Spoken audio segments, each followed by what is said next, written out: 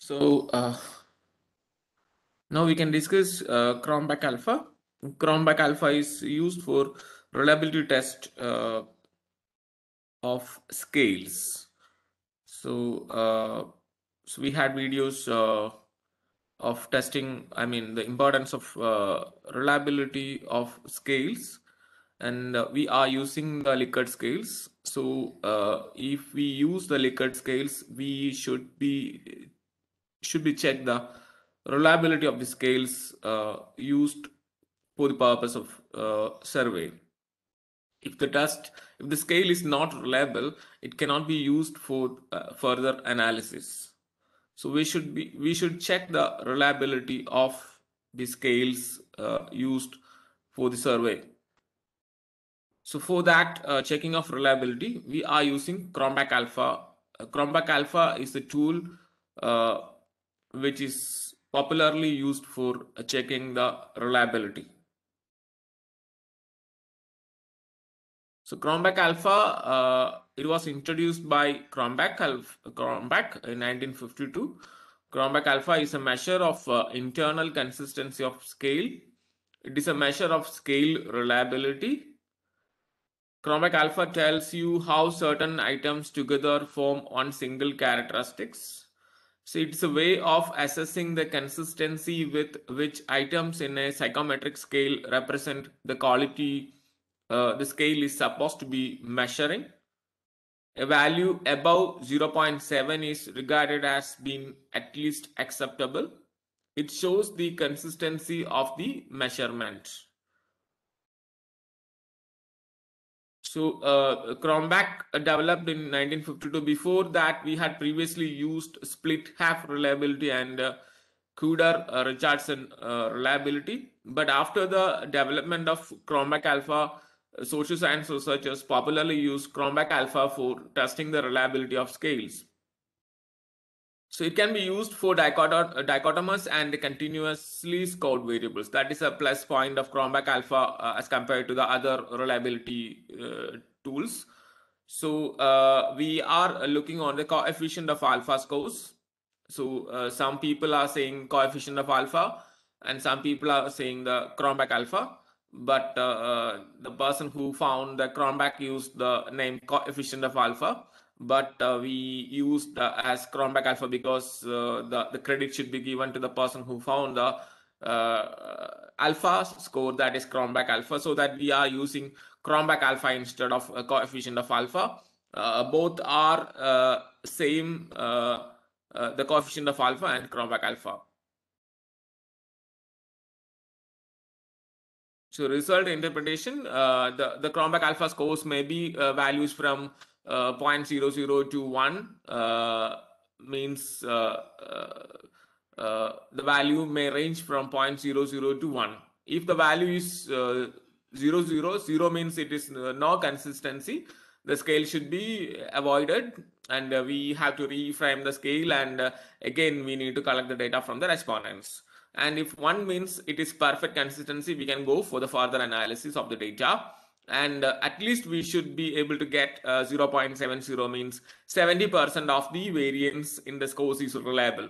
So we have collected the data that means we have got uh, 0.70 that means 70% of these variance of the uh, mm, variance in the scores is reliable and only 30 percentage error variance. So we can forward uh, further uh, with the result. So at least 70% or 0.70 Cronbach alpha score is essential uh, 0.8 is better 0.9 is better point uh, i mean 1 is uh, perfect consistency. So here uh, we have to take care of uh, the composite scores. Composite scores are the sum of uh, sum or average of the two or more scores. So while learning the Likert scale we just explained that Likert scales are the items item scale and it contains many statements. So we have to take uh, care of the composite scores of the, the reliability of the composite scores of the all the statements. So internal consistency is best for the two or more uh, scores individual items. So adding scores together and find Cronbach alpha. So that is the way of uh, approaching the Cronbach alpha, not the individual item scores. But uh, some people taking the individual item score that is uh, wrong we have to taken care of the combined uh, scores of uh, uh, all, all the items in the construct. So now we can be look uh, how to calculate the Cronbach alpha. Just uh, take the uh, SPSS file. So this is an SPSS file, uh, and we can uh, uh, look how we can calculate the Cronbach alpha. Just you can take the analyze and scale reliability analysis, and so this is the variables. Suppose I am taking the satisfaction. Satisfaction.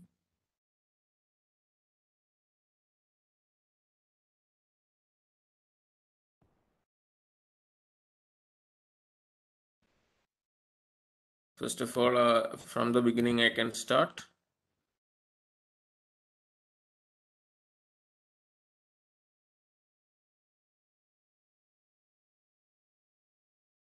okay there are many variables so uh, this is a data set of e-governance uh, of uh, e-governance rating by the people in Kerala.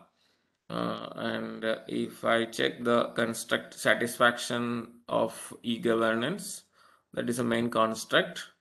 So I am using the satisfaction shift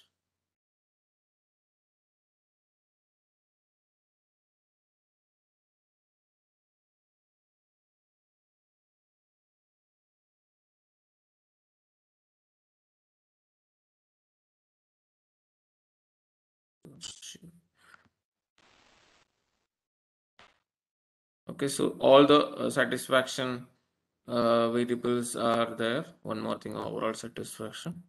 So this all the satisfaction scales are there. The or the construct is called uh, satisfaction.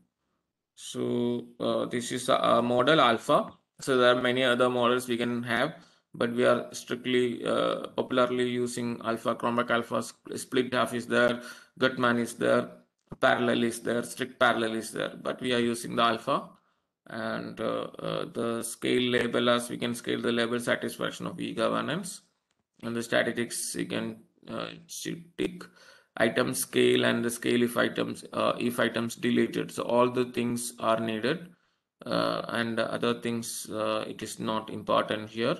So you can click continue. And then the uh, result uh, come up uh, this is a reliability statistics and we have got 0.885 that means 88 percentage variance explained. Uh, and only uh, 12 is uh, 12 percent is errors.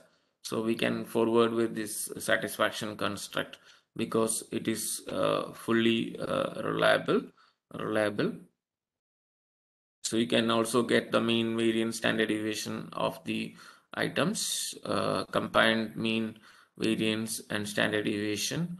Okay, so uh, this the thing we have uh, put tick marks, scale mean if item deleted, scale variance if item deleted, corrected item total correlation, alpha, Cronbach alpha of individual items. But these individual items we don't need to consider. We have to look on these this uh, the group items is 0.885 that means 88.5 uh, uh, percentage is the reliability. So we can uh, depend on this uh, particular data and we can go forward with this data. So this is the thing